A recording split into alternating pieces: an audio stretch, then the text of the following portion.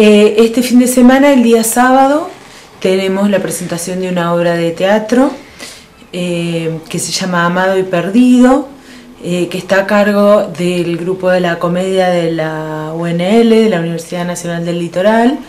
y bueno, y dentro de su elenco cuenta con un actor sancarlino, como lo es Raúl Cray. Así que, bueno, estamos eh, muy contentos de poder brindar este espectáculo a la comunidad. Tiene como un condimento extra esto de poder ver a un San Carlino, ya lo hemos tenido la semana pasada también con la sala repleta eh, a través de las propuestas que ustedes están llevando adelante, seguramente esta va a ser de igual manera. Sí, pensamos que sí, bueno, eh, creo que siempre es grato ver a alguien a quien conocemos y, y bueno, y es un poco ese orgullo de decir, bueno, esta persona que es de nuestra localidad, de nuestra zona, en este caso Raúl es de San Carlos Norte.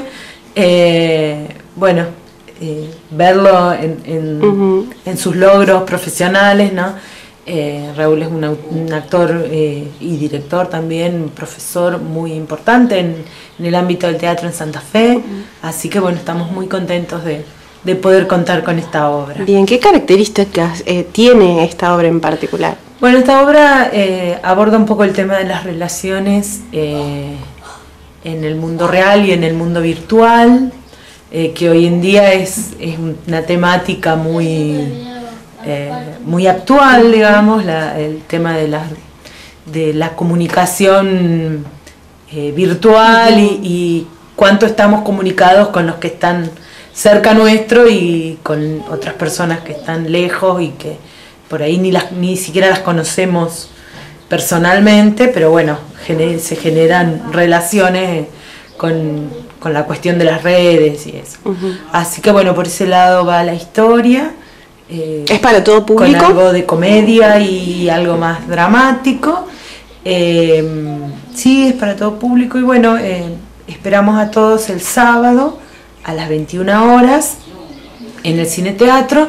Como siempre las entradas anticipadas están a la venta, los asociados a la biblioteca eh, tienen un costo de 80 pesos y los no socios de 100 pesos, las anticipadas, y si no en puerta eh, salen 120 pesos. Bueno, sigue siendo esto un beneficio muy importante para la biblioteca y todos los proyectos que ustedes tienen, digamos, eh, en marcha y a los que aspiran. Sí, básicamente también para el sostenimiento de la sala, ¿no? Porque eh, la sala está hermosa, pero siempre hay algo que uno tiene que ir haciéndole para que no se deteriore, por supuesto.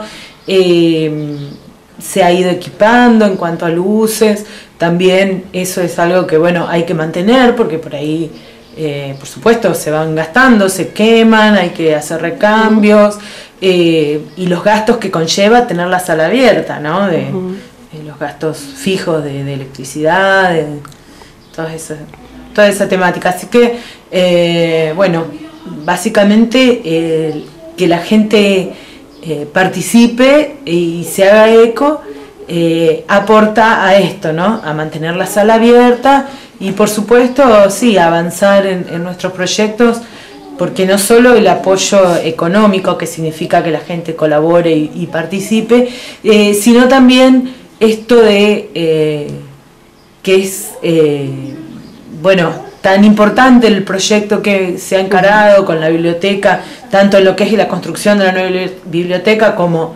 eh, esto de, tener un espacio para el arte y la cultura, eh, que el sentirse acompañado en, en, cada presentación que se hace, en cada actividad, el sentir que la gente, que la comunidad está presente, es también un impulso muy grande, más allá del recurso económico, ¿no? Esto de decir, bueno, lo estamos haciendo eh, juntos, entre todos, y, y todo, toda la comunidad está sosteniendo esta actividad.